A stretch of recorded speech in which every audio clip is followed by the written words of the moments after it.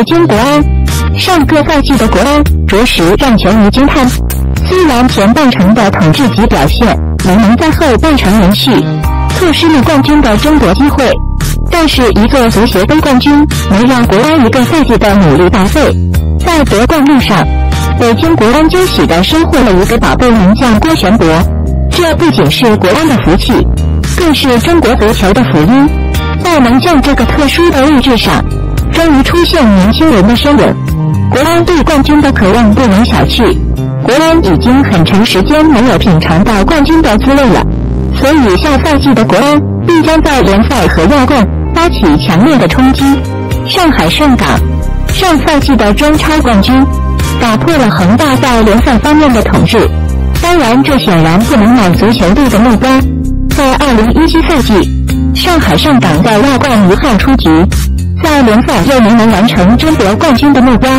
还在足协杯决赛输给同城对手申花。上赛季的上海上港拿出了极高的求生欲，终于夺得球队的第一个联赛冠军。但是在休赛期，上海上港败走吴磊，又没有做出太多人员变动，这一点让球迷对新赛季的上港有些担忧。作为中超冠军去挑战亚冠，压力不小。广州恒大在联赛开打之前中足了眼球。不说新赛区的演员，单就恒大自己的新制度，就让外界对恒大议论纷纷。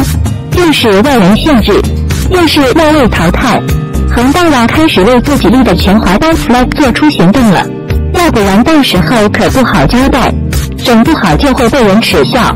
那么，这样的恒大能在亚冠走远吗？如果自己制定的制度没能在联赛中取得好成绩，球员到了亚冠赛场。还会有那么强的求胜欲吗？山东鲁能，可喜的是鲁能找到了一位好教练，因材施教，因地制宜，鞋子合不合脚，只有自己才能知道。